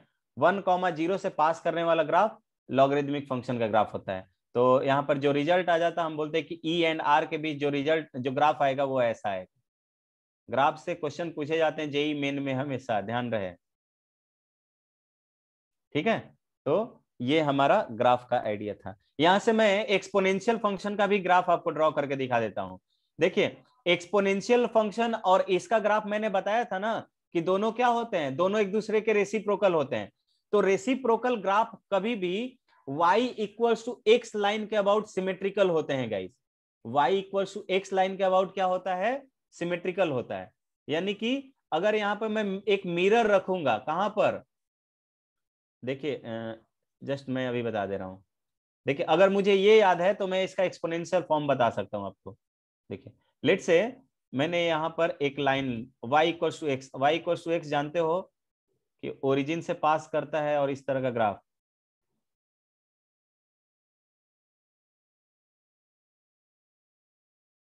इस तरह का ग्राफ होता है। ये वाई इक्वल्स टू एक्स का ग्राफ हो गया। इक्व या अभी तो लाइन का ग्राफ आप लोगों ने टेंथ में याद पॉइंट रख रखे। इस तरह का, छोड़ दीजिए, इसको मैं ग्राफ के सेक्शन में ही देखूँगा। ग्राफ के सेक्शन में कुछ मैं आइडिया भी बताने वाला हूँ, जिसको आप थोड़ा सा यूज़ करके आप ग्राफ खुद से भी बनाना सीख जाओगे। ठीक है? तो ग्राफ में ग्राफ को थोड़ा सा हम लोग डिटेल में देखेंगे बिकॉज़ वहाँ से कॉन्सेप्ट क्लियर होने के बाद फिजिक्स में किसी भी तरह का ग्राफ आप खुद ब खुद टीचर के ड्रॉ करने से पहले आप अपने कॉपी में ड्रॉ कर लोगे। So wait for the graph section and I think next class हमारा ग्राफ से ही स्टार्ट होने वाला है। और ग्राफ को मैं बहुत ही बेसिक से स्टार्ट करने वाला हूँ लीनियर के ग्राफ से। लीनियर का ग्राफ आपने क्लास टेंथ में भले ही पढ़ा होगा कि एक्स की वैल्यू को रखते थे, उसके कॉरेस्पॉन्डिंग वाई की वैल्यू निकालते थे और जितने भी पॉइंट्स था उसको हम इंडिकेट करके सभी पॉइंट को ज्वाइन कर देते थे। ये मेथड आपने पढ़ा होगा। But we will not follow that method because वो मेथड बहुत लेंदी होता है कि आपको वैल्यूज़ रखना होता है देन ज्वाइन करना होता है। We will not proceed by this हम लोग कुछ डायरेक्ट मेथड देखेंगे, जहाँ पे इक्वेशन देखते ही आप ग्राफ प्लॉट कर दोगे गाइज़ ठीक है? तो हम लोग नेक्स्ट क्लास में ग्राफ के सेक्शन में एक क्लास में नहीं हो पाएगा ऑब्वियसली आई थिंक दो से तीन क्लासेस तीन क्लासेस मुझे मिल जाएगा तो बहुत डिटेल में आपको ग्राफ बताऊँगा मैं। ठीक है guys so wait for the next class कैसे पता चलेगा इंक्रीज होगा या डिक्रीज होगा? किसमें? क्रिस अनम्यूट करके बताइए। किसमें आप पूछना चाह रहे हो? रुकिए मैं आपको हैंड रेज कर दीजिए आपका नाम ऊपर आ जाएगा क्रिस हाँ बोलिए। हम्म। सर इसमें पता कैसे चलेगा सर कि ये मतलब इंक्रीज होगा या डिक्रीज होगा? अच्छा इसमें ये इस। वाले के लिए।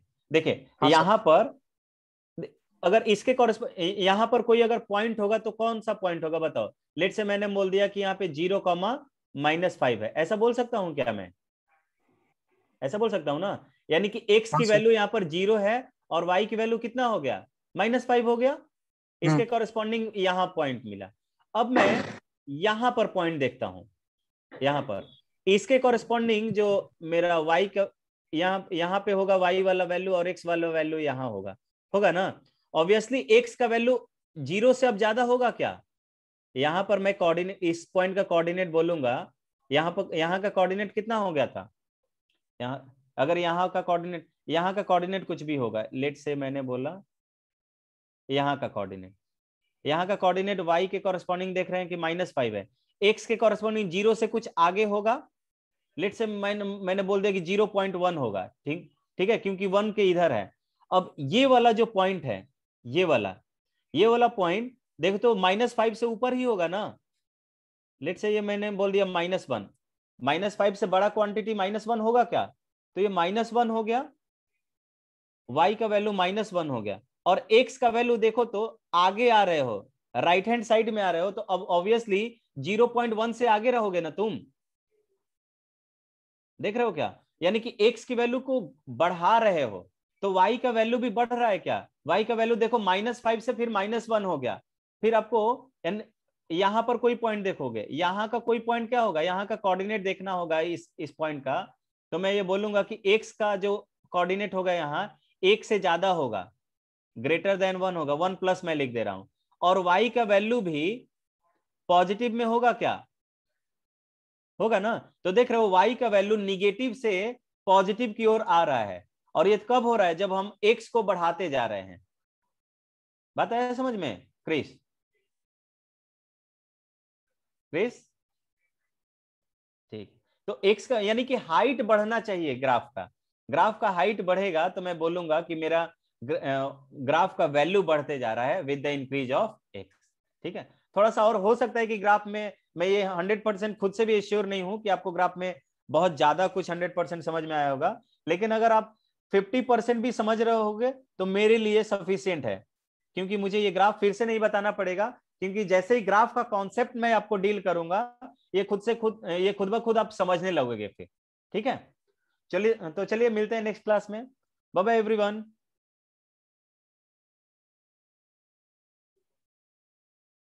अच्छा फोर्टी परसेंट चलिए, कोई नहीं फोर्टी परसेंट भी समझ में आया तो कोई इश्यू नहीं है। Will discuss in graph detail